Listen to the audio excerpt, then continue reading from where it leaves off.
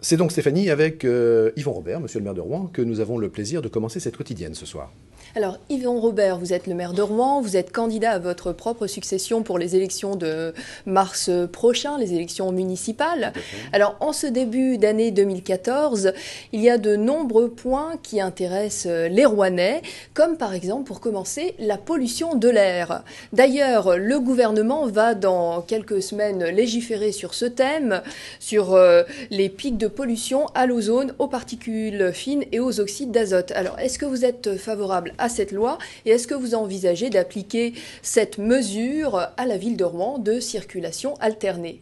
C'est une hypothèse. Je voudrais d'abord dire que la pollution sur la ville de Rouen et sur l'agglomération de Rouen a beaucoup baissé hein, toutes ces dernières décennies, et notamment toute la pollution industrielle. Le sujet majeur qui reste, c'est la circulation automobile, et c'est clair qu'il est indispensable d'avoir une ville où il y a moins de circulation automobile. Moi, je ne veux pas opposer la, ville, la circulation automobile et les autres modes de déplacement, mais lorsque l'on peut, et à chaque fois que c'est possible, contribuer à diminuer cette circulation est positive. Alors maintenant, est-ce que si, si c'est la loi, ça s'applique, bien entendu Maintenant, il va falloir en déterminer les modalités qui ne sont pas encore connues. La, problématique d'ailleurs de la circulation des véhicules au regard de l'économie, c'est complexe, vous le savez bien, parce que les gens qui font des études sur notamment le petit commerce disent bien qu'il y a un rapport étroit entre la présence de véhicules et le bien-être du petit commerce. On peut dire ça? Non, c'est euh, excessif de dire cela. Ce qui est important pour l'ensemble de la vie commerciale, c'est qu'il y ait de des gens qui viennent, c'est qu'il y ait des déplacements. C'est qu'il y ait des déplacements.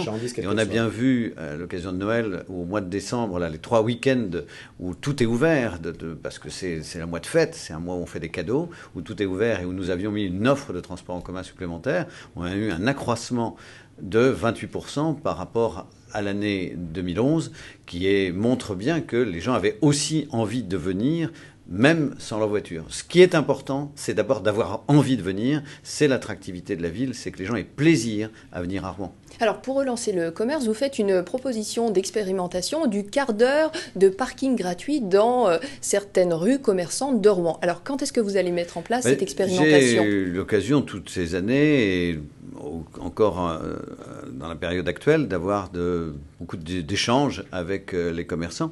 Et j'ai entendu beaucoup une idée qui est dans certaines rues, hein, c'est pas c'est pas général, c'est pas partout. Dans certaines rues, il y a du commerce qui fonctionne avec de l'arrêt rapide de quelques instants. Et donc il y a une demande des commerçants d'avoir des espaces de certains commerçants dans certaines rues et qu'on est en train ensemble de déterminer, de déterminer 5, 6, 7 places où les voitures pourraient s'arrêter quelques instants. Mais euh, il faut pas que ça soit prétexte à certains de rester beaucoup plus longtemps. Mon objectif, c'est c'est l'arrêt minute. Et donc, je... Comme dans les aéroports ou dans les gares, les dessertes rapides. Oui, c'est hein, ce principe-là. L'idée, c'est d'avoir un, un, eurodateur qui délivrerait un ticket d'un quart d'heure gratuit. Et rien qu'un ticket d'un quart d'heure gratuit, de telle façon qu'on puisse à la fois le surveiller et qu'il n'y ait pas des personnes qui l'utilisent pour beaucoup plus longtemps. Donc, j'ai eu une réunion ce matin, d'ailleurs, avec une, une, quinzaine de commerçants dans le quartier de la Croix-de-Pierre, qui a été extrêmement intéressante. Et on a beaucoup échangé autour de cette idée et je commence à avoir des, idées très précises. Ça fait partie des, réunions de conciliation, si je puis dire, d'écoute. Vous êtes très à l'écoute suite à ce que. Si vous voulez, depuis que je suis maire, même depuis tout ce mandat et depuis que je suis élu, c'est par centaines que j'ai fait des, réunions publiques. Bien, mais il y avait quand même... Et donc, euh, bah, j'ai eu l'occasion, on en a fait beaucoup l'année dernière, j'en ai refait cette année, puisqu'il y a, il y a du souci, il y a des inquiétudes. La vie économique n'est pas facile. Le commerce est en pleine mutation, notamment à cause, à cause d'Internet. Et donc, les commerçants s'interrogent comment évoluer. Et bien entendu, la ville les accompagne dans cette évolution du commerce. Et vous cherchez des réponses effectivement pour euh, et on cherche des réponses euh, complémentaires et, ce mécontentement qui s'est tout ce qu'on a mis en place. Qui, mécontentement qui est plus de l'inquiétude et de l'angoisse par rapport à une situation économique générale qui reste une situation économique avec une croissance très, très faible hein, actuellement. Alors j'aimerais aborder un autre point. En janvier 2015, la métropole va se substituer à la CREA. Alors qu'est-ce que c'est que cette entité et quelles sont ses compétences à cette métropole? C'est une, une transformation, hein, donc c'est pas, j'ai entendu, je le précise, ce n'est pas une institution nouvelle et supplémentaire.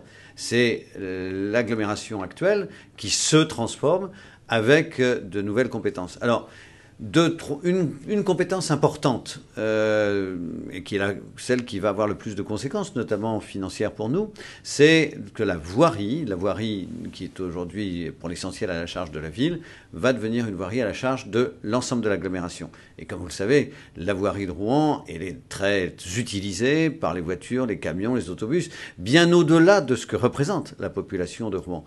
Et le fait que, en quelque sorte, le financement de la voirie rouennaise, de l'entretien de la voirie rouennaise soit assuré à l'échelle de l'ensemble de l'agglomération est un élément très positif. Ça sera le cas aussi, monsieur le maire, pour les autres communes qui, oui, qui composent l'ensemble et pas uniquement pour la ville de Rouen. Oui. Bien entendu. Sauf que la voirie de Rouen est plus sollicitée dire, il suffit de voir la, circulation. il y a ceux qui viennent travailler, il y a ceux qui traversent, il y a ceux qui viennent pour le tourisme, il y a ceux qui viennent pour les courses, il y a ceux qui euh, utilisent euh, la voirie pour, pour leur plaisir. Enfin, je veux dire, il y a les camions de livraison et tout cela est caractéristique de la ville-centre et n'est pas comparable dans les autres communes. Donc là, il y a un vrai sujet. Il y a un vrai sujet ensuite dans les, les dimensions de prospective, de préparation de l'avenir, notamment en matière de vision de l'urbanisme. Euh, pendant ces décennies, les dernières décennies, et ça a un peu diminué, mais ça continue à être un problème, on a beaucoup construit loin de, plus ou moins loin de Rouen. Or, aujourd'hui, la ville durable, la ville écologique, la ville de l'avenir, c'est qu'on est, on utilise davantage tous les terrains qui sont encore libres de Rouen. C'est ce que je fais depuis, depuis six ans maintenant, et ce qu'on fait dans le quartier où nous sommes avec ces studios, qui est en pleine, en pleine transformation, qui va permettre un, un millier de logements supplémentaires. On est avec Théor on est à 5 minutes, 10 minutes, entre 5 et 10 minutes du centre-ville. C'est là qu'il faut construire. Et donc ça, la, métropole aura le pouvoir de dire où il faut construire et bien entendu avec ce souci de préparer l'avenir. C'est ce qu'on appelle la lutte contre le mitage. C'est ce qu'on appelle hein, la lutte contre le, mitage urbain, le, développement anarchique. Euh, il faut qu'on soit sur des endroits où ça correspond à un bon fonctionnement de l'agglomération. Donc la, métropole, c'est essentiel de ce Cette entité, alors, elle aura quel nom? Rouen Métropole Créa Métropole? Bah, Écoutez, ça, c'est à l'ensemble des élus de le définir. Ce qui est sûr, c'est qu'il est important que le nom de Rouen apparaisse dans son sigle, sous une forme ou sous une autre. Mais il y a une idée aussi importante, c'est de, pour nous, c'est la métropole de Rouen, c'est la métropole de Normandie. Hein, c'est l'unique métropole en Normandie. Il y a 14 métropoles en France, 12, enfin 12 automatiques plus 2 Montpellier-Brest qui sont peut-être, et puis bien sûr la métropole de Paris. Euh, quand on regarde la carte, on voit bien que sur le nord-ouest, c'est Rouen qui est la métropole fondamentale. Et rappelons-le d'ailleurs, pour notre fierté d'appartenance, pour euh, ceux d'entre vous qui nous regardent et qui habitent justement la ville de Rouen, euh, ça placerait Rouen au rang de la huitième place. Hein, oui, et de ce point de vue-là, c'est très important à l'échelle du développement, à l'échelle du territoire, pour, pour bien connaître. Aujourd'hui, on est dans un, univers où il faut rayonner, il faut être attractif. C'est important pour le territoire concerné, mais c'est important aussi que le développement d'ensemble de la France s'appuie sur cette quinzaine de territoires qui euh, ont, j'allais dire, la force, en quelque sorte, de se développer et de d'apporter de l'emploi, le sujet majeur dans ce domaine, et on le fait notamment avec le tourisme en matière d'attractivité, le sujet reste toujours l'emploi, c'est la préoccupation première des Français, ça doit être notre préoccupation à tous, mais avec toutes les modalités, et notamment dans une ville comme celle-ci, euh, le développement, la construction, le tourisme, tout ça sont créateurs d'emplois. La télévision aussi, comme une télévision locale, rencontre aussi de l'attractivité d'un territoire. Qu'est-ce que vous pensez justement d'une chaîne privée comme LCN? Est-ce que vous êtes favorable à euh, une multitude de l'offre télévisuelle? Je ne sais pas s'il faut une multitude de l'offre télévisuelle. Aujourd'hui, il y a bien, il y a plusieurs centaines de chaînes. Donc en tout cas, une télévision qui reflète la proximité. une, une chaîne du territoire et qui soit sur les problèmes du territoire, sur ce qui se passe dans le territoire. Hein, vous parlez tout à l'heure, vous recevez des, musiciens africains, c'est extrêmement intéressant de parler ainsi, de montrer ce qui se passe en matière de culture. La pluralité culturelle, oui. Voilà, et c'est très riche. Euh, le temps tourne, le temps tourne vite. Exactement. En mars 2014, les Rouennais vont choisir leur maire. Alors à Rouen, à droite comme à gauche, la division est sensible.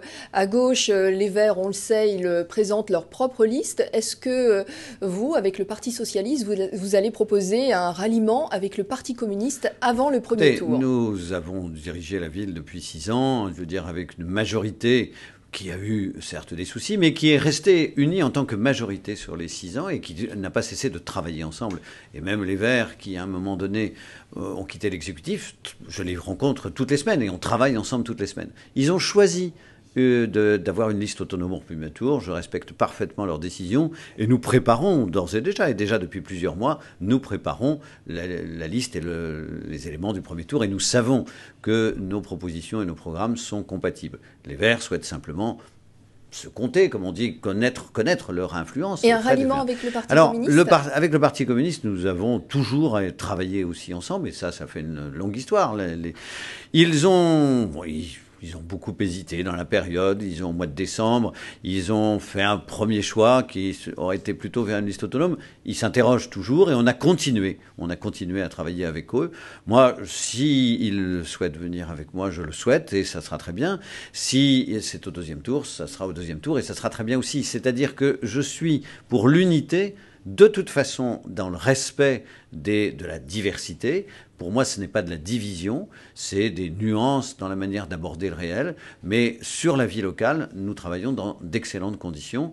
Et donc, euh, si euh, le souhaitent, je les accueille bien volontiers. Il faut simplement que ça se fasse dans les tout prochains jours. Alors, quand euh, sera proposé votre programme et quand donnerez-vous votre liste définitive pour ces élections bah, municipales? Le programme, c'est, bah, écoutez, c'est cette semaine. C'est une, une, présentation à la presse Et puis, à partir de vendredi, le document, un petit document de 64 pages, nous allons commencer à le le boiter dans, tous les domiciles des Rouennais. C'est un travail euh, militant. C'est les membres de tous ceux qui nous accompagnent du Parti socialiste qui, vont aller le mettre dans toutes les boîtes des Rouennais et euh, à la fois dans les boîtes aux lettres et puis toute une série de rencontres de porte-à-porte, de rencontres euh, sur le terrain et puis de réunions publiques à partir du 3 février. Je fais 18 réunions publiques à 6h30 dans tous les quartiers de la ville où je pourrais l'expliquer, le, proposer. la liste, euh c'est fin janvier. Nous aurons l'occasion avec euh, Valérie Fournéron, qui bien entendu est présente sur cette liste et complètement partie prenante de cette euh, vie qu'elle n'abandonne pas, même si elle est avec des missions nationales importantes actuellement, elle continue à tout ce qui à suivre la vie rouennaise et à influer à chaque fois que c'est nécessaire sur des grands dossiers qui compte pour les Rouennais, le dernier sur lequel elle s'est beaucoup impliquée, qui a beaucoup avancé, c'est la construction de nouvelles, euh, nouveaux équipements au CHU, euh, qui est un lieu d'excellence sur le plan de la recherche, sur le plan médical, et qui est extrêmement important pour tous les Rouennais.